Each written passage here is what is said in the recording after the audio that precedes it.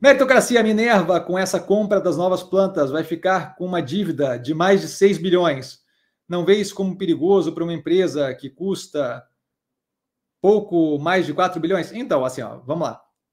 Primeiro, é, assim, ó, é, a dívida bruta pouco importa, certo?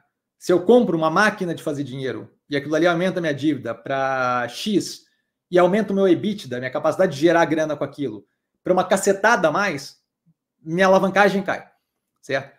Então, assim, então, é, dívida bruta especificamente não é relevante, certo? Você é, a, a, a, ver a dívida bruta fora de contexto não faz sentido, certo? Ah, tal empresa tem uma dívida de, de 10 bilhões. Não interessa se ela tem um EBITDA de 12, certo? Ela, ela tem menos de um, de um, de um, menos de uma vez dívida líquida sobre EBITDA, certo? Então, pouco importa.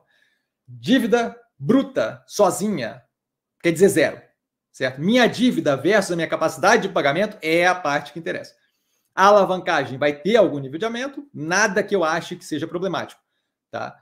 Vale lembrar que as operações, as 16 plantas, elas não vêm para eu construir do zero, elas vêm rodando já.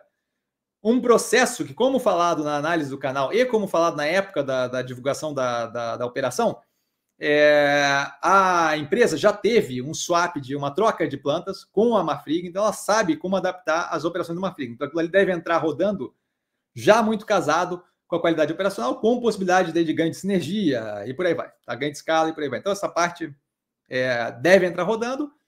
Valor da dívida de forma valor absoluto quer dizer zero, certo? Então a gente tem um aumento no endividamento e um aumento na capacidade de pagamento, certo? Um aumento no, no, no, na geração de caixa operacional. Tá? Esse é o ponto 1. Um. Ponto 2. Valor da empresa quer dizer zero com relação à capacidade de operacional, certo? Você está falando ali, a empresa que custa pouco mais de 4 bi, imagino, imagino eu que você deva, deva estar tá falando de market cap, de capital de mercado. Market cap é o valor que as ações têm, que a soma das ações tem. Aquilo dali não é, como, como, como disse algumas vezes aqui, o preço do ativo é uma coisa, a operação da empresa é outra, certo? A empresa agora vale 4 bilhões. Pouco tempo atrás, ela valia 15 reais por ação. Vamos chutar aí que é mais ou menos o dobro, certo? Ela valia 8. Não era uma empresa diferente. Era a mesma empresa. A diferença é que o mercado via 15 reais por ação de valor naquela época e agora vê é, 7 alguma coisa, 6 alguma coisa, sei lá quanto é que está o preço, está próximo ali, tá? Entre 6 e 7. Isso daí afeta zero o quanto eu vendo de carne, afeta zero o quanto eu pago no gado, afeta zero o quanto o dólar está, afeta zero minha capacidade de qualidade operacional de, de lidar com a carcaça do, do, do, boi, zero. Zero. A operação continua rodando igual, ela valendo 4, 5, 10, 13. Igual. Então, market cap, capital de mercado, valor dos ativos, valor da, da, da ação na, na, coisa, do, do, da soma das ações, zero. Zero de relevância para a operação da empresa.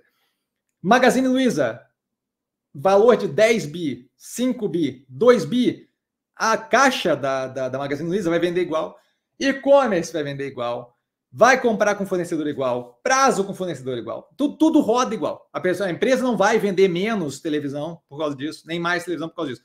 Então não dá para misturar operação da empresa com preço do ativo. Ah, mas por que, que você acha então que o preço está caindo? Porque o mercado tem uma visão daquilo se, se o mercado tem uma visão daquilo, não quer dizer que faz sentido. Se fosse o mercado sempre casado com o que vale a empresa, eu não teria como fazer dinheiro, nunca ganharia dinheiro. Certo? Eu ganho dinheiro justamente quando eu compro um negócio por um preço muito baixo, Ocean Pact a 1,86, e o negócio sobe, Ocean Pact 5 e pouco. Aí a gente ganha dinheiro. Por quê? Porque estava descasado da realidade aquilo. Certo? Então, volto a reforçar. Market cap é uma coisa, tá? O quanto vale ali a empresa é uma coisa, de acordo com o que estão dispostos a pagar, não quer dizer que a empresa vale aquilo, assim como o valor contábil também é outra vibe que não tem nada a ver com isso. Outra coisa é a operação da empresa, certo? Então, fica aí algumas questões. Primeiro, não se olha endividamento como valor absoluto, certo? Eu, eu, eu posso ter empresas diferentes com a, a dívida da Petrobras é, é, consideravelmente maior, imagino eu, do que a da Gol, certo? Mas a Petrobras gera uma cacetada de, de caixa operacional a mais, muito mais do que a Gol. Então, volto a reforçar.